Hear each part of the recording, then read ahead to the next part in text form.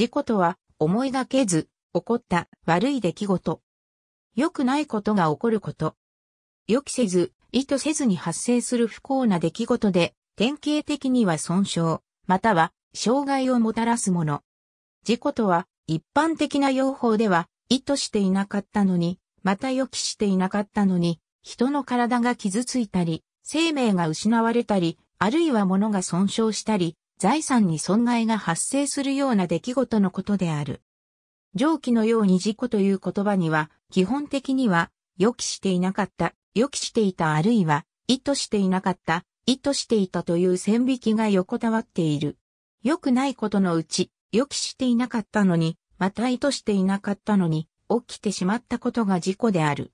言葉の基本的な意味は、こうなっている。ただし20世紀になってから、様々な領域で、事故の深いレベルでの原因をどう考えるか、事故というものを、組織や社会としてどう防止するべきなのか、ということの検討が始まり、自己という概念を社会としてどう用いればよいのか、という課題が浮き上がってきた。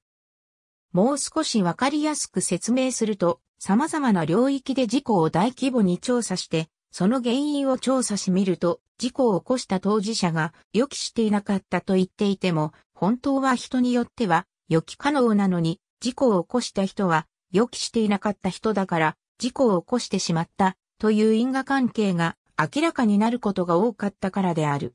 別の言い方をすると、同様の状況下に置かれても、一方の人は予期して事故を回避し無事だったのに、別の人は予期しなかった結果、対処を怠り、事故を起こしてしまっていた、といった因果関係がしばしばある、ということが明らかになるに従って、事故という言葉の使い方を慎重にすべきだ、という指摘がされるようになってきているのである。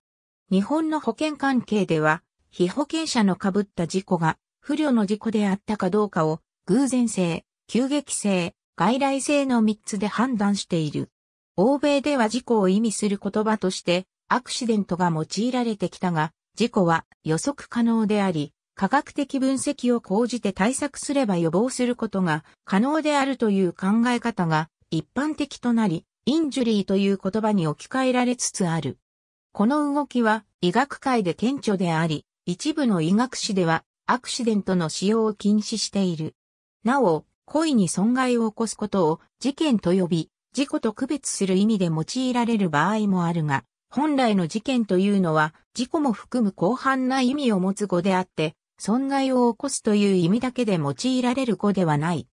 詳細は事件の項目を参照のこと。なお、痛ましい事故、事件の場合は、惨事とも称され、特に大きく悲惨な事故、事件の場合は、大惨事とも称される。学問としては、安全学、安全工学、失敗学などが事故が起きる原因や、その防止策について研究している。詳細は、事故の一覧を、参照山岳部での遭難、人里での雪下ろし中の落下事故や、生き埋め事故、自動車や人のスリップ事故や、転倒事故、飲酒と関わりが深い事故、豪雪による通信網切断、等々、多岐に及ぶ。直接人間の生命を脅かしたりしない場合でも、事故と呼ばれる場合がある。主に業務において、思わぬ手違いや予期しない機械の故障などにより、正常な業務を成し得なかった場合が相当する。トラブル、障害と呼ばれる場合が多い。事故調査とは、文字通り、事故がなぜ発生したのか原因を究明する活動である。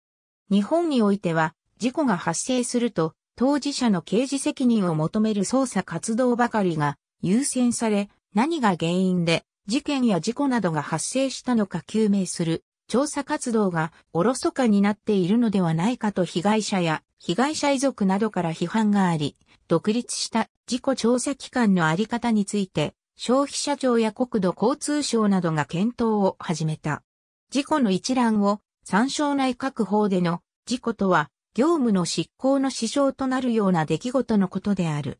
自衛隊の組織内では規則違反事案全般、もしくは人員の欠員を事故と表現することがある。種類。ありがとうございます。